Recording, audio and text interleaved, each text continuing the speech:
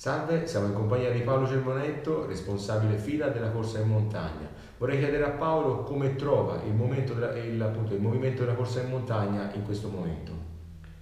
È un uh, movimento in, in, salute che esce da due rassegne di campione italiano, chilometro verticale a lunghe distanze, poi l'assoluto e il, il, giovanile che hanno fatto numeri importanti, più di 700 partenti per ciascuna delle, delle manifestazioni. È un movimento che guarda i campionati europei in programma a breve, il, il, 2 luglio, il, 2 luglio, prossimo, dove si cercherà con un campionato che dopo eh, quasi 15 anni torna, torna, in casa, si proverà a fare bene con atleti che sono sicuramente in grado di dire la loro sia a livello individuale sia a livello di squadra.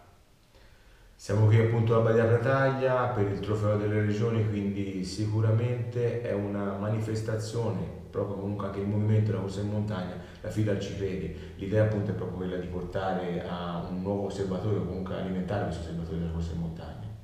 Sì, trofeo per regioni in particolare è una manifestazione che cerca di avvicinare anche qualche eh, realtà non storicamente così vicina alle corse in montagna. Da questo punto di vista, per Bretaglia, la partecipazione di Umbria e Lazio è sicuramente il dato più, più significativo perché significa eh, allargare il, il, bacino, significa eh, permettere ad atleti che abitualmente non corrono così tanto sui sentieri di eh, confrontarsi con atleti che lo fanno più frequentemente e eh, dimostrare anche che in fondo non siano terreni così, così lontani, il mezzo fondo prolungato, il cross, la corsa in montagna anche a livello nazionale con gli atleti di punta dimostrano che possono essere eh, percorsi in qualche modo perseguibili con una discreta strategia ma anche con un'apertura mentale eh, significativa.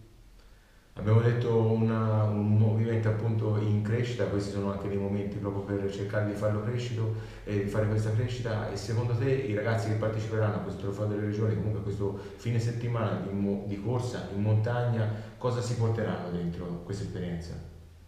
Intanto il correre in un eh, percorso unico, in uno scenario davvero suggestivo come quello del Parco delle Foreste Casentinesi, una riserva naturale che merita di essere percorsa anche a ritmo più lento di quello che eh, gli atleti percorreranno in gara. Correranno su questi sentieri, le rappresentative dei, dei, dei cadetti in particolare, quelle giovanili in senso più, eh, più, lato, sono anche e soprattutto dei momenti di incontro tra, tra ragazzi e quindi spero siano soprattutto questi i segni delle esperienze che, che si, si possano portare dietro. Poi chiaro, se qualche atleta maturerà una passione ulteriore per, per, correre in montagna, per correre sui sentieri, chiaro sarà stato centrato un'altra parte del, dell'obiettivo.